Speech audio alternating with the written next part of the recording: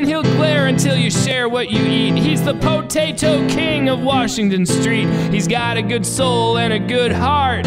He thinks he's in trouble each time he farts. He doesn't often growl or snarl. He loves going out to Lou and Carl's. He's everybody's favorite bud.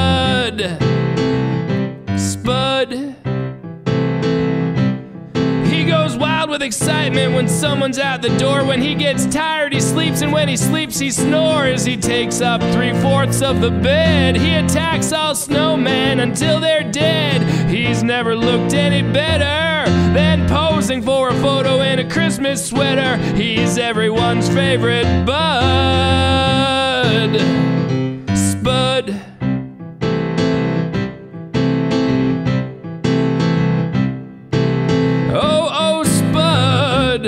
The greatest dog you'll ever meet. When he's ready for a walk, he's in the middle of the room with a leash. Have I mentioned he's the potato king of Washington Street?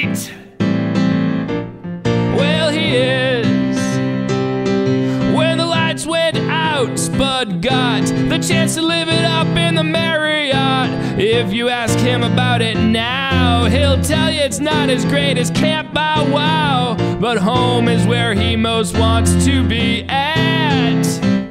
Where he can chase his brother, Larry David the cat. And he can hang out with Mike and Jess.